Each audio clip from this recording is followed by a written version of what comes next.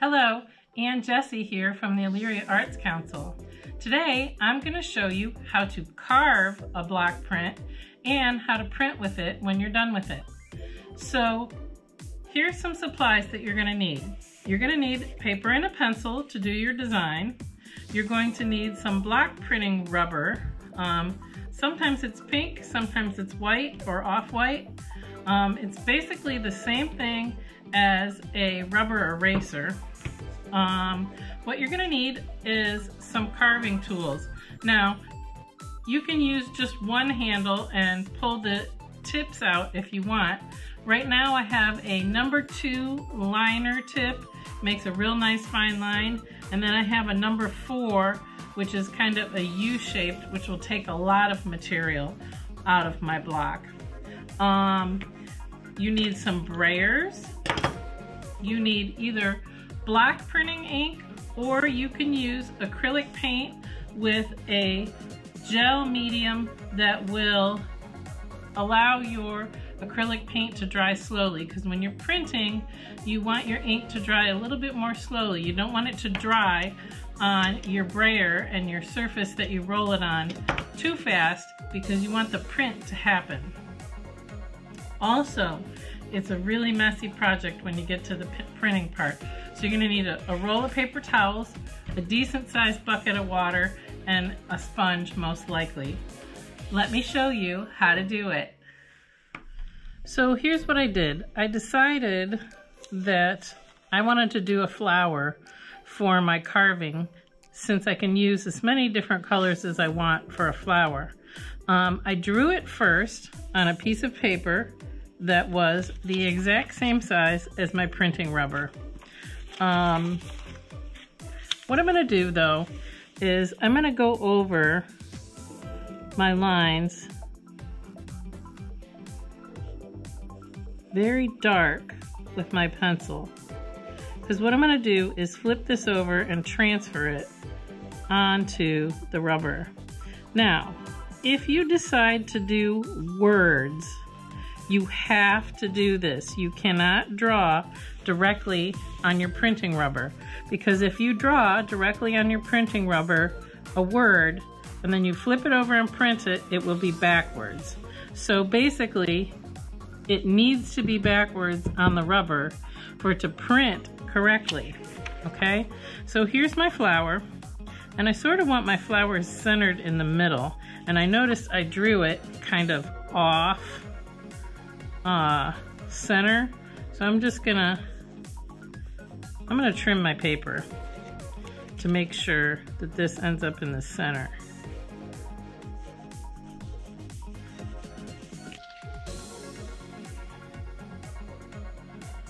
Okay, so what I need to do is flip this over, make sure it's centered, and rub. Hold the paper with one hand and rub pretty firmly. I'm using my thumbnail. You could probably use the end of this tool too. And I'm mostly worried about the outline, not too much about the center, because I have a special technique that I'm going to use for this center. So here we go. We've got it transferred. Now, when you're cut, what I usually do when I'm doing this is I use my number two fine liner blade and I do the outline. So what I'm gonna do is carve the outline and I want these petals to be flat. They're gonna be the surface that prints. And then I'm gonna remove some of the background, but I'm gonna leave some kind of decorative lines in the background so that it'll look artsy and fun. So here's what I'm gonna do. Notice where my fingers are. My fingers are closest to my body. The blade is in front. My fingers are not in front of the blade. And what you have to do is kind of a motion at a 45 degree angle, just to get this to carve. So you kind of angle it downwards at 45 degrees and then raise it up just a little.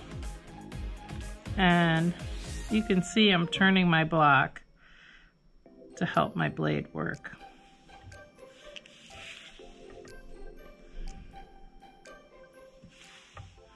Make sure you keep those fingers behind the blade. It's really easy to gouge your fingers when you're working on this. So try hard to keep them away from that blade.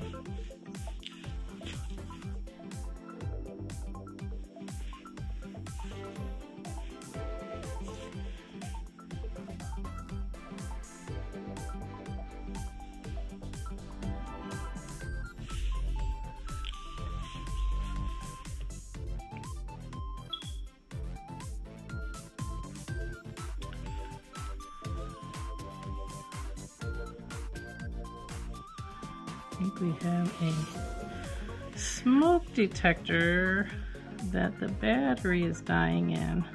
I don't know if you can hear the chirping, but every now and then it chirps.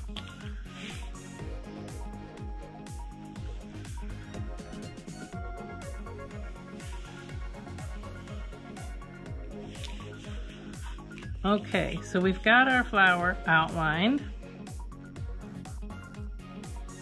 Now what I'm gonna do is I am going to, it's got kind of a spiky little center and I really like that. So what I'm gonna do is just shave out kind of in a sunburst circular motion. I'm gonna shave out some little V-shaped notches, which is really easy to do with this number two liner blade.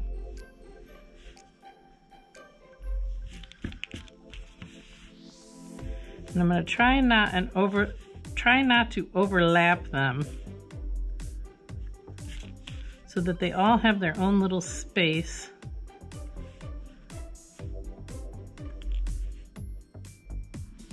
But definitely in a circular motion, radiating out from that center.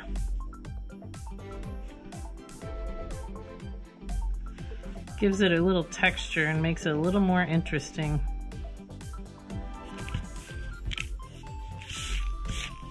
So I chose a flower because it's easy to do many different colors of flower and it's also a simple shape. Um, so that's pretty cool there. So if I want to, I could put some lines in the flowers um, to show that maybe they were a little ruffly or I could just leave them plain. I'm gonna, I'm gonna choose to leave them plain for now. You can always print with it and wash it off and go back and carve if there is something that doesn't print like you want it to. So what I'm gonna do now, since I've outlined, is I'm going to carve the background out. And like I said before, I want some of the lines to show to make it look artsy. So what I'm doing is very carefully carving away from my flower petals. And I'm not carving too deep because I want some of that background to show. I want it to look like a block print. Now, if you don't want it to look like a block print, you can take an X-Acto knife and you can carve the whole background out if you want. But I like, I like the kind of textural feel when a block print prints that it has kind of a cool extra lines here and there in the background. So I'm gonna print this out and then we'll show you, or I'm gonna, I'm sorry, I'm going to carve this out and then I'm gonna show you how to print.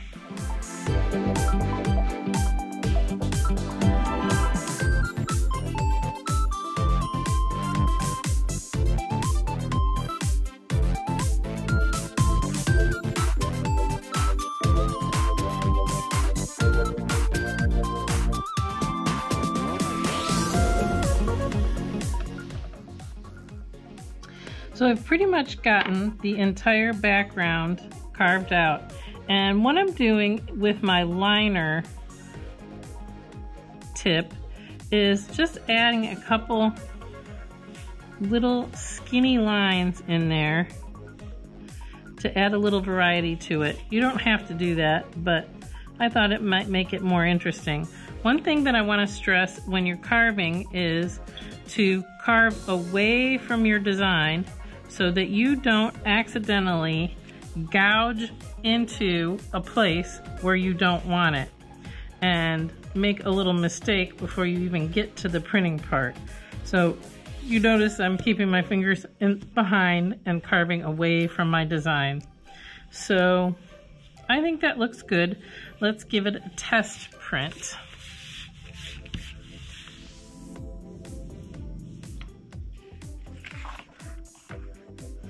So let's print here.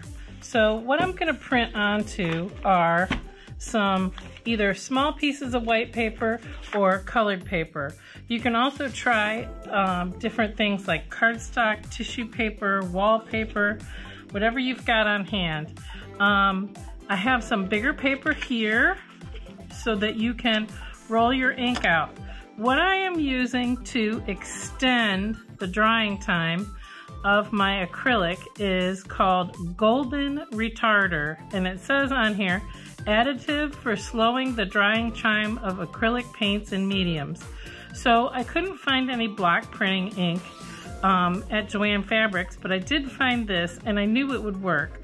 Um, I didn't feel like ordering block printing ink when I knew I could just do this. So what it says on the instructions, which I highly recommend reading the instructions, Mr. Jesse, uh, it says for thicker applications, do not add more than one part retarder to eight parts of paint. And then it says for thin applications, do not add more than one part retarder to one part, part paint. Um, I, I, of course, had to test this so that I knew it would go okay for the video. So here's what I did the eight parts paint to one part um, retarder. And I'm going to mix a color here. Um, I would like kind of a warm yellowy orange. So what I'm doing is mixing my color and then I'm going to add the retarder. And I'm just going to use a brush to mix it.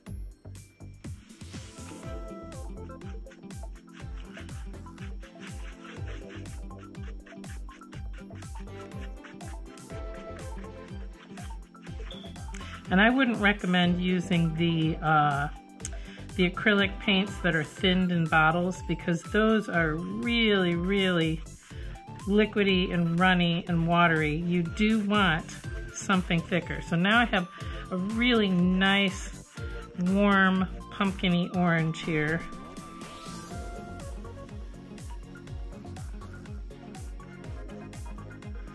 I'm going to get it thoroughly mixed. And it's about, I don't know, bigger than a silver dollar for sure. And I'm to add maybe a nickel size amount of retarder. Hopefully that's not too much. I was able to tell when I rolled it out on the, with the brayer that if it was too thick or too thin.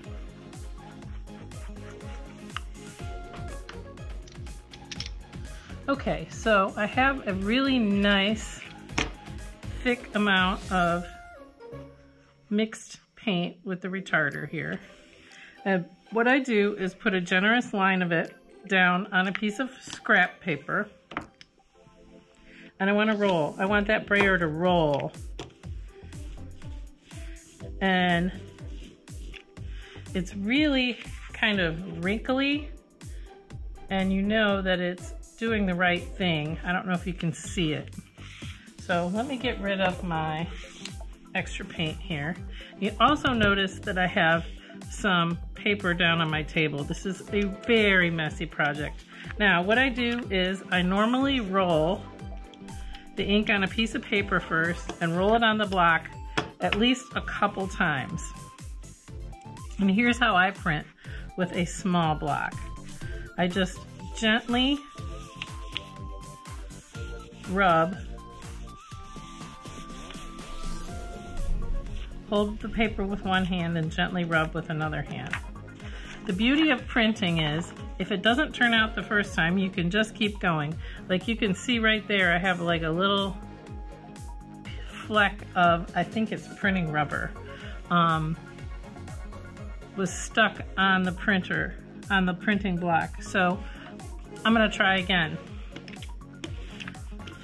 Roll a couple times in my ink. And I'm rolling in the opposite, another direction on my block. So let's try another one. Very gently hold it, very gently rub it.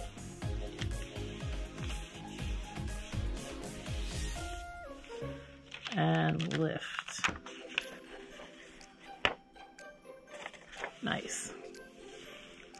So I'm feeling like I need a little more ink on this.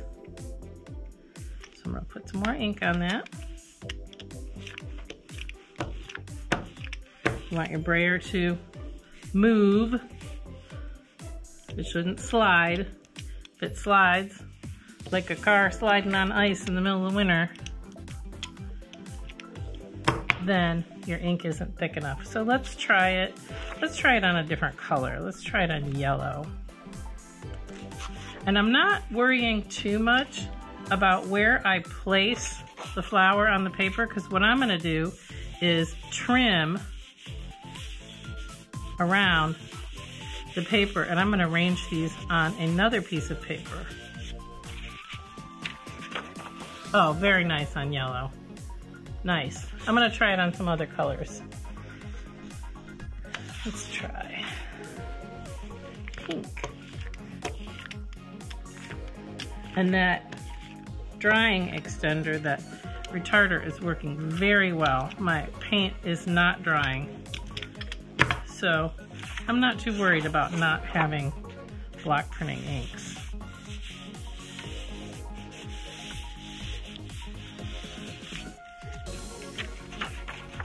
Haha, looks really nice. One more. Let's try it on gray. And what I'm really, really, really trying to do here is not get the ink on my fingers. And I do have a little sponge over here to the side if I do get it on my fingers because what's gonna happen is it'll start getting on parts of the print that you don't want it on if you've got it all over your fingertips. Ah, love it on gray. Very nice. So I'm gonna try some different colors, but I also want to show you that you can streak another color through this while you are working and it will be kind of like a rainbow tie-dye effect. Um, so if you wanted to, you could mix a different color with retarder and then add that to ink that you already have going. And you'll have this really cool kind of tie-dye effect.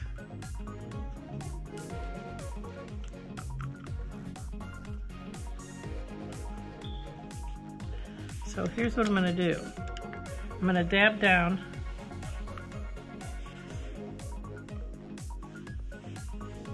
some yellow and some orange so that I end up with streaks. You could even add a dab of white to this if you want. Let's just try the orange and yellow for the moment. So it looks kind of streaked on your brayer. Roll it on your block.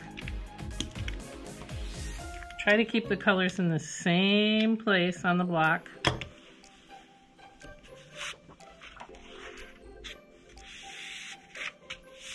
Oh, I think I slid that one. Yeah, look at that. That's the beauty of doing a print. If you do a really awful one, you can toss it right in the trash. And my recommendation is to have a trash basket right next to you while you're doing this so that when you're done with this ink um, rolling paper, you can throw it right in the trash. Um, let's see, let's try it on a red one.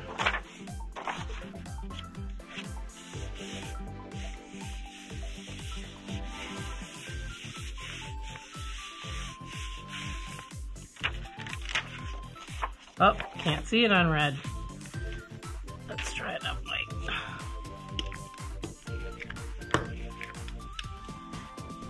Block printing is very good for experimenting, as you can tell.